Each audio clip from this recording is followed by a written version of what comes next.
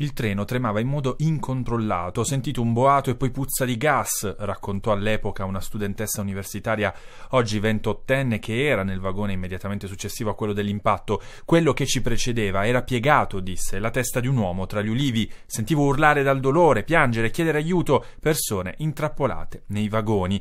Il verbale della testimonianza resa dalla passeggera al commissariato di Trani il 23 luglio del 2016 è stato acquisito oggi dal Tribunale insieme ad altre quattro durante l'udienza del processo sulla tragedia ferroviaria svoltosi ad Andria. Testimonianze drammatiche fornite dai passeggeri superstiti alcuni giorni dopo dagli inquirenti.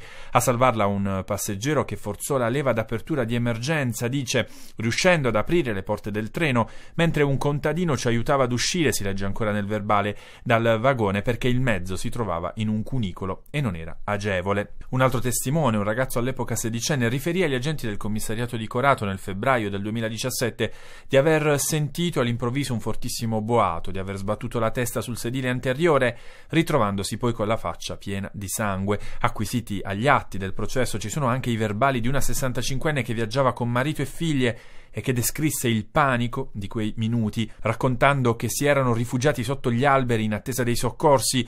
Durante l'udienza si è proceduto anche al controesame di un poliziotto che ha svolto una parte delle attività di indagini delegate dalla Procura.